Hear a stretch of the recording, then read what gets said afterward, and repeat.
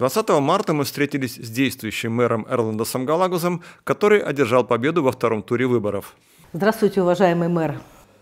Добрый день. Мы поздравляем вас э, с избранием на новый срок и желаем вам успехов и дальнейшего осуществления всех проектов, которые вы уже начали. Спасибо большое. Спасибо большое. Я, пользуясь уже случаем, хочу поблагодарить и всех наших жителей, всех тех избирателей, которые меня поддержали, которые меня поняли. Конечно, и тех поблагодарить, которые были оппонентами, и которые, может быть, и голосовали против меня. Я еще еще раз говорю, что намерен как работать, как и раньше, работать только на благо нашего города. Также, конечно, хочу свою команду поблагодарить. Эти люди очень много сделали. А больше всего это, конечно, свою семью, свою жену, детей, родителей. Им это стоило, наверное, больше, чем мне. В действующей каденции Эрландас Галагус планирует провести еще два заседания Висагинского совета, а приведение к присяге членов Совета новой каденции и инаугурация мэра, вероятно, произойдет во второй декаде апреля.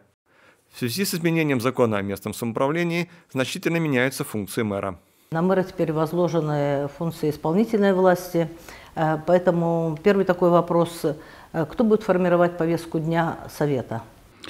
Э, как и до, до сих пор, повестку дня будет формировать мэр будет предоставлять э, совету эту повестку дня, и совет должен будет принять или изменить эту повестку, э, но уже без э, голоса мэра.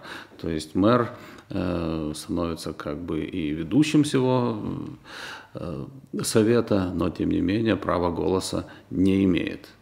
То есть вот какой-то такой интересный, интересный, на мой взгляд, э, вариант, когда э, и повестку, и все проекты решений готовит мэр, э, но на совете он только представляет, объясняет те проекты решений, а совет уже голосует самостоятельно без мэра.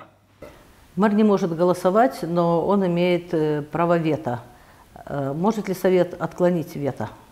Да, то есть если Совет принимает определенное решение, которое, на взгляд мэра, э, в том или ином случае не соответствует либо каким-то стратегическим решениям, либо в принципе какой-то логике даже, как иногда бывает, то э, мэр имеет право возложить вето на такое решение.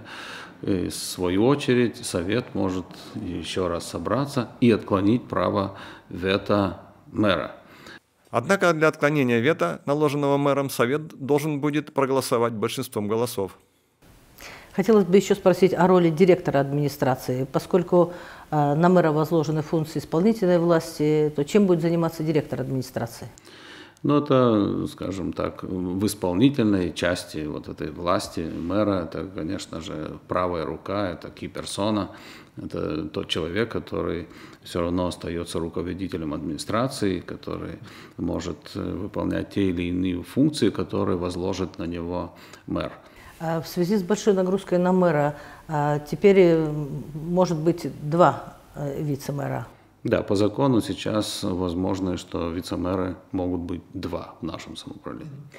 По словам мэра, один из его заместителей традиционно будет отвечать за просвещение, здравоохранение и культуру, а другой – за привлечение инвестиций, за работу в регионе и другие сферы деятельности. Вице-мэры могут быть назначены, даже если Совет не согласится с их кандидатурами. Они не могут быть членами Совета, но могут быть уволены мэром, если не справятся со своими функциями. Я думаю, что сейчас после, после этой реформы даже, наверное, мало кто может конкретно сказать, насколько это увеличилось э, объем работ для мэра, э, потому что еще все в будущем, еще ни, ни одно самоуправление еще не поработало с этим законом. Но вам, наверное, как человеку, как политику, наверное, будет интересен такой новый опыт. Мне лично это действительно все эти такие вызовы, трудности, меня, как, как тут красивее сказать, но они заводят. Это, мне это действительно интересно. Мы желаем вам успехов в новых начинаниях и в продолжении старых проектов. Спасибо большое.